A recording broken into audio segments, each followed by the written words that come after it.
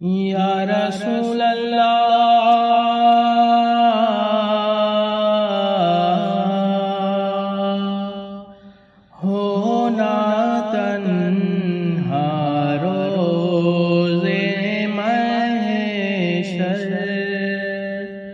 साथ हो शबीर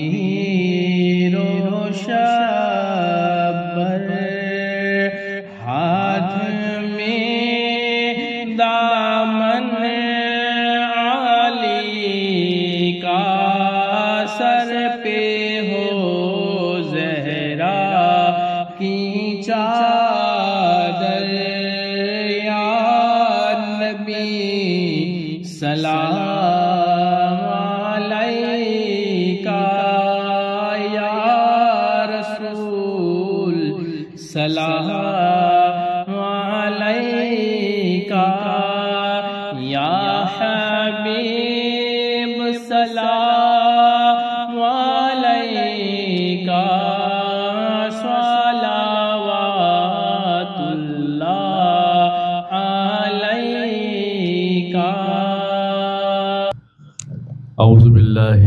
अउज़बिल्लिमिनश्शैतानिर्रजीम बिस्मिल्लाहिर्रहमानिर्रहीम। ला मुहम्मदुर रसूलुल्लाह। सल्लल्लाहु अलैहि या रसूलल्लाह। नूरुम मिन नूरिल्लाह। अस्सलातु वस्सलामु अलैका या रसूलल्लाह। वाला आलिका व या हबीब अल्लाह सल्लल्लाहु अलैहि वसल्लम। अस्सलामु अलैकुम व रहमतुल्लाहि व बरकातुहू कैसे आप सब लोग खैरियत से हैं? अल्लाह खैरियत रखे, करम फरमाए, मुश्किलात हल फरमाए। आज इंशाअल्लाह अल्लाह के फजल से हुजूर के सदके, पंजतन के करम से, उनके वसीले से।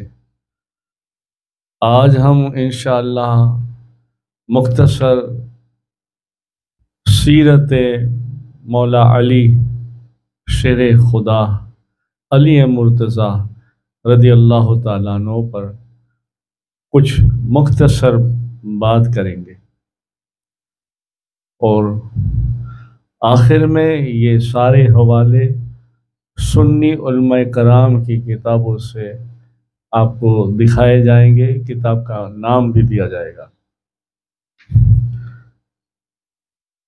सारी हमदो सन्ना अल्लाह के लिए और कुल दरूद सलाम अपने हबीब, हमारे आका इमामुलम्बिया ताज़ार मदीना मोहम्मद रसोल्ला वसल्लम के लिए। आपकी आल, औलाद, ख़ानदान, अजवाज, ज़ुरियात, अहल बैत जानिसार साहबा साहबिया ताबईन, तब ताबईन, जमी, इमाम अलिया अल्लाह, तमाम सलासिल अलिया अल्लाह पर भी दरुद सलाम हो।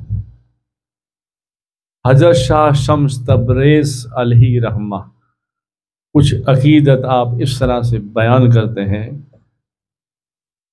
शाह शरीयतम तू ही पीरे तरीकतम तू ही शाह शरीयतम तू ही पीरे तरीकतम तू ही हक ब हक तम तू ही दम हम दम अली अली अली अली।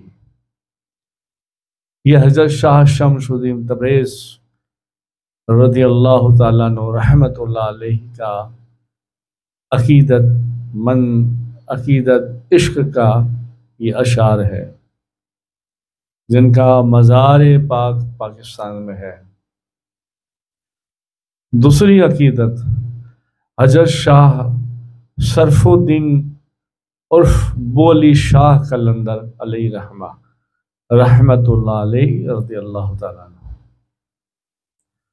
हैदरियम, कलंदरम मस्तम हैदरियम, कलंदरम मस्तम बंदे मुर्तज़ा अली हस्तम। या आप मौलाए कायनात शेर खुदा की बारगाह में अर्ज़ करते हैं। सुबहान अल्लाह। अब हज़रत मौला ना जलालुद्दीन रूमी रहमत भी फारसी में अर्ज़ करते हैं। औसाफ अली पे गुफ्तगु मुमकिन नस्त औसाफ अली पे गुफ्तगु मुमकिन नस्त गुंजाई से बहरे दर सुबह मुमकिन नस्त मन ज़ात अली ब वाजिबी के दानम। बन, मन ज़ात अली ब वाजिबी के दानम। इल्ला दानम के मिसले ओ मुमकिन नस्त। इल्ला दानम के मिसले ओ मुमकिन नस्त। और हज़रत ख्वाजा फरीदुद्दीन अतारफी फरमाते हैं। इन फिर इसका मैं हिंदी तर्जुमा आखिर में कुछ और आशार के साथ आपको सुना दूँगा। हज़रत ख्वाजा फरीदुद्दीन अतार फरमाते हैं, ज मशरक ता ब मगरिब गर इमाम अस्त। ज मशरक ब मगरिब गर इमाम अस्त अमीरुल मोमिनीन हैदर तमाम अस्त अमीरुल मोमिनीन हैदर तमाम अस्त सुबहान अल्लाह आपका नाम पाक हज़रत अली रदी अल्लाह तमीरमिन शेर खुदा हज़रत सैदना अली मुर्तज़ा रदी अल्लाह आपकी कुनीत अबू तुराब और अबुल हसन रदी अल्लाह आपका लकब असदुल्लाह, वालिद का नाम इमरान अबू तालिब, वालदा माजिद का नाम हज़रत फ़ातिमा बिनते असद रदी अल्लाह तहा आपकी विलायत, बर रिवायत तेरह रजब बरोज जुम्मा को। हजूर पाक सल्लल्लाहु अलैहि वसल्लम के ऐलान नबूवत के दस साल पहले, यानी उस वक्त आप सरकार पाक सल्लल्लाहु अलैहि वसल्लम की उम्र शरीफ, उम्र मुबारक तीस साल की थी। अब ज़रूरी है मौलाए कायनात अली शेर खुदा रदी अल्लाह तु की सीरत पढ़ने से पहले थोड़ा वालदा की तरफ़ भी देखा जाए, वालिद की तरफ़ भी देखा जाए और हुजूर को उनसे कितना प्यार था, वो भी देखा जाए। हुजूर अकम सल्लल्लाहु अलैहि वसल्लम जब अपनी वालदा माजिदा के शिकम में थे तब आपके वालिद माजिद हज़रत अब्दुल्ला रदी अल्लाह तु का विशाल हो गया। और जब हुजूर पाक सल्लल्लाहु अलैहि वसल्लम की उम्र शरीफ कम व बेश पाँच साल की थी तो आपके वालिदा, माजिदा सैदा आमिना, तैयबा, ताहिरा का विशाल हो गया। और जब आपकी उम्र शरीफ आठ साल की हुई तो आपके दादा हज़रत अब्दुल मुत्तलिब रदी अल्लाह तु का विशाल हो गया। उसके बाद परवरिश की जिम्मेदारियाँ आपके चचा अबू तालिब और चची हज़रत फ़ातिमा बिनते असद ने बड़ी जहाँ फिजा, जा निशारी के साथ निभाई।